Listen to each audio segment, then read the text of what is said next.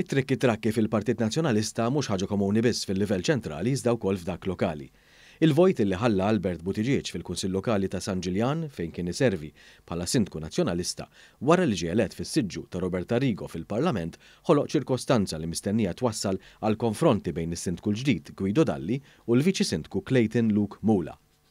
Kif irrapportat il-gazzetta kulħadd huwa fatt magħruf li s-Sindku l-ġdid Guido Dalli, li fl-aħħar snin irrifjuta li joqgħod Viċi Sindku ta' Butiġieġ avolja kien ġab it-tieni l-akbar għadd ta' voti fl-elezzjoni tal-Kunsill, u Clayton Luke Mula li sadattant mela l-vojt minfloku bħala Viċi Sindku, ma jarawx għajn m'għajn. Wara r-riżenja ta' Butiġieġ, il-kariga ta' Sindku ngħatat lil Dalli, imma magħruf li Mula ippretenda li jilħaq Sindku hu.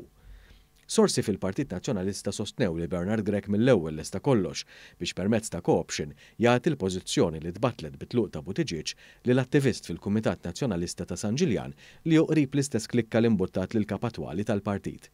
Il-Partit Nazzjonalista ma kien fadallu l-ebda kandidat mill-aħħar elezzjoni tal-Kunsilli li seta' jitfa' n-nomina tiegħu għal elezzjoni każwali li saret it-Tnejn filgħodu wara li s-sitta li kienu ħarġu f'isem il-Partit kienu ġew eletti lkoll Madankollu, eventwalment tefa' ismu l-Kap tal-ADPD, Carmel Cacopardo. Issa li Cacopardo ma ġiex elett u għaldaqstant se jispiċċa fil-Kunsill il-magħżul ta' Grech, diġà qed jiġi mbassar li dan se jkun qed imexxi l-aġenda ddettata mid-Dar Ċentrali u jkun il-portavuċi tat-tmexxija. Qed jingħad li dan jista' jitqabbad ikun medjatur bejn is-Sindku u l-Viċi Sindku li ma jarmux wisq entużjażmu biex jaħdmu flimkien.